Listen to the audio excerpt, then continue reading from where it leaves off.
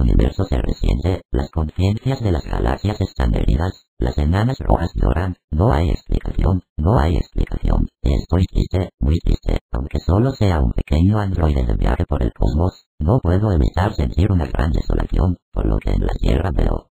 Esos seres, los humanos, sí, los humanos, han sido capaces en una milésima de segundo de tiempo universal, de reducir a polvo la belleza, la belleza.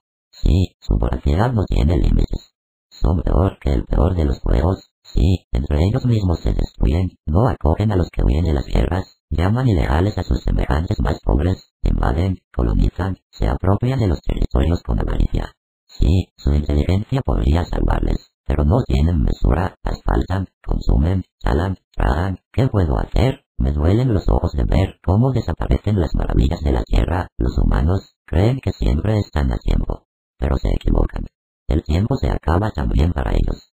Piensan con vanidad que sus obras quedarán para un futuro, pero nadie les recordará aquí en el universo. Nadie lamentará su extinción. Ni una sola estrella sollozará años luz, ni derramará cometas ni caerá en agujeros negros de pena cuando los humanos desaparezcan.